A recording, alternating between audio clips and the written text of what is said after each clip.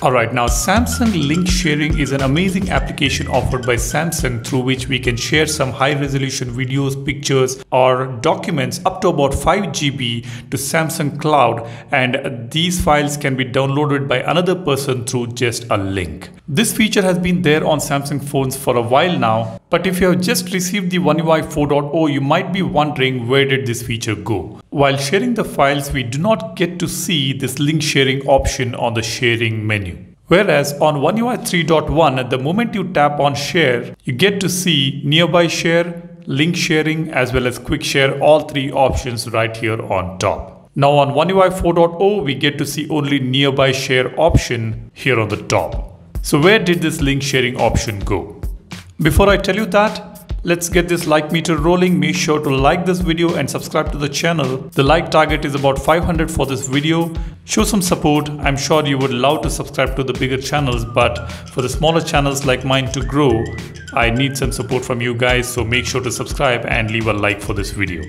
Now let me tell you where did this link sharing go on One UI 4.0. As you can see here, to access the link sharing, all we need to do is tap on Quick Share. Now this link sharing feature has been integrated into Quick Share by Samsung. As you can see here on top, we have got share to my device. This is a quick sharing feature. We can directly share the files between the devices when they are connected to the same Wi-Fi network. And we can quickly share the files, the larger files also through this feature. Now, if you want to share these bigger files up to about 5 GB to another person sitting in a different location, you can share them through the share as link. As you can see, we have got this section here. We have got an all new option share using QR code and share in an app. When we tap on share in an app, we can send the link to download those documents or files which you have uploaded through a message or any other application you desire. The other person just have to tap on the link that you share and download those files.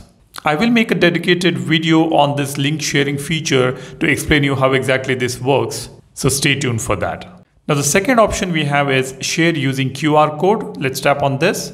As you can see, we can scan this QR code from another device to get the link for the files that you have uploaded.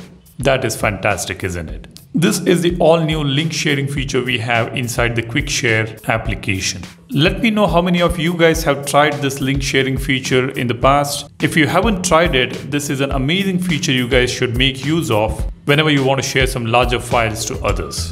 That's about it. Don't forget to leave a like, subscribe and share this video. Thanks a lot for watching. You guys take care and stay safe. I will see you in the next one. Cheers. Bye-bye.